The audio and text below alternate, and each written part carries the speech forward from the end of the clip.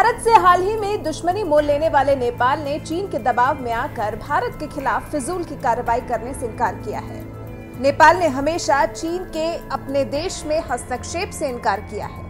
लेकिन चीन की एक हरकत ने साफ़ कर दिया है कि नेपाल के प्रधानमंत्री के पी शर्मा ओली चीन की ही बातों में आकर भारत के खिलाफ इस तरह की कार्रवाइयाँ कर रहे हैं। पता चला है कि लद्दाख में पीछे हटने की बात कहकर पीछे नहीं हटने वाले चीन ने अब लिपुलेख इलाके में एलएसी के पार अपने 1000 सैनिकों को तैनात कर दिया है।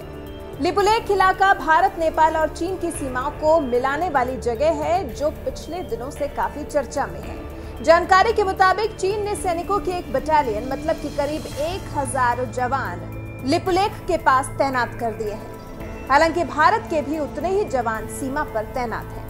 लिपुलेख पास वही इलाका है जहाँ से भारत ने मानसरोवर यात्रा के लिए नया रूट बनाया है। ये पिछले दिनों तब चर्चा में आया था, जब नेपाल ने यहाँ भारत की बनाई 80 किलोमीटर की सड़क पर ऐतराज जताते हुए नया नक्शा जारी कर दिया था, जिसमें लिपुलेख लिम्पियाधुरा और कालापानी को अपना इलाका दिखाया है।